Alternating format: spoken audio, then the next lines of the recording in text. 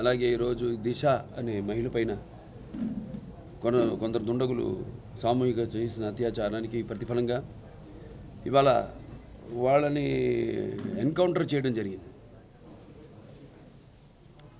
ఎన్నో మాధ్యమాలు ఉన్నాయి. మాధ్యమాల ద్వారా ఈ సంఘాన్ని మార్చడానికి వాడికి ఒక మంచి సందేశాన్ని ఇవ్వడానికి అన్న నందమూరి తారక రామారావు గారు నాన్నగారు ఆయన సినిమాల నుంచి కూడా ఎన్నో సందేశాలు ఎన్నో సందేశాత్మక చిత్రాలు చేయడం జరిగింది. అటువంటి ప్రభావం సినిమాల యొక్క ప్రభావం మేము చేసాం లెజెండ్. దాంట్లో వినాశ్రీయం జననం నాస్తి వినాశ్రీయం గమనం నాస్తి వినాశ్రీయం జ- సృష్టి నేవ నాస్తి అని మంచి సందేశాలు ఇవ్వడం జరిగింది. అటువంటి అప్పుడు ఇటు ఇక్కడే కాదు దేశం యావత్తు కూడా చూసుకుంటే మన మన మహిళలపై ఇటువంటి ఎన్నో దుశ్చర్యలు జరుగుతున్నాయి ఘాతకాలు జరుగుతున్నాయి.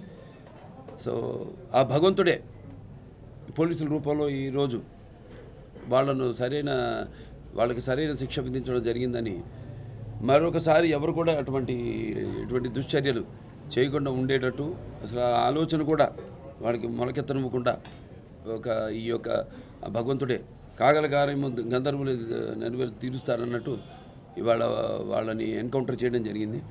సో ఇది ఒక గుణపాఠం కావాలి అందరూ కూడా. ముందు ముందు మళ్ళీ ఇటువంటి ఎటువంటి ఘాతకాలకి వాళ్ళు సాహసించకుండా ఆలోచన కూడా రానివ్వకుండా సో ఇటు తెలంగాణ ప్రభుత్వానికి అలాగే పోలీస్ డిపార్ట్మెంట్కి నా అభినందనలు తెలియజేసుకుంటున్నాను.